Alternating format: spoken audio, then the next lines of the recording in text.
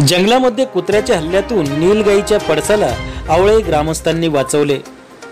आता बघूया सविस्तर वृत्त.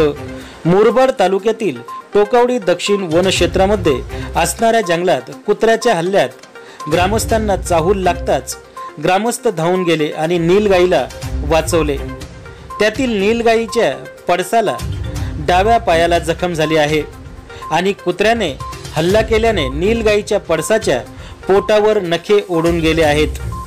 तसेच तोंडावर सुद्धा नखे ओरबडले आहेत.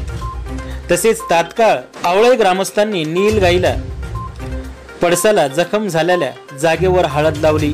त्यानंतर नीलगाईच्या पडसाची ही माहिती आल्वे ग्रामस्थांनी टेकावडे दक्षिण वनक्षेत्र अधिकाऱ्यांना देत्याच टेकावडे दक्षिण वनक्षेत्र अधिकारी एस एल नाईक यांनी तात्काळ घटनास्थळी आपली वन कर्मचाऱ्यांची टीम पाठवून प्रत्यक्ष दर्शनी नीलगाईची पाहणी केली.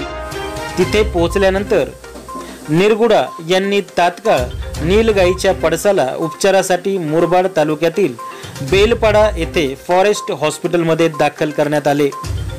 तेथे उपचार सुरू आहे. परंतु नीलगाईच्या पडसाची तब्येत चांगली आहे. दोन तीन ठिकाणी कुत्र्यांनी तोंडावर ओरबडले आहे.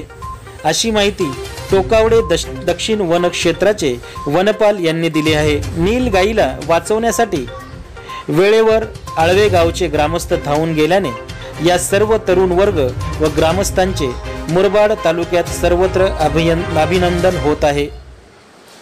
या सर्व गोष्टींचा आढावा घेतला आहे आमचे न्यूज सेवन डेजचे प्रतिनिधी बाळासाहेब भालेराव यांनी.